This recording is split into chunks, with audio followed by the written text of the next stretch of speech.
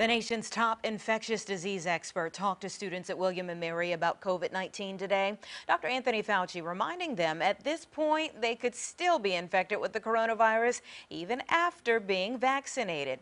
Fauci took part in a virtual Q&A explaining what makes the vaccine successful is its ability to keep people from getting as sick when infected.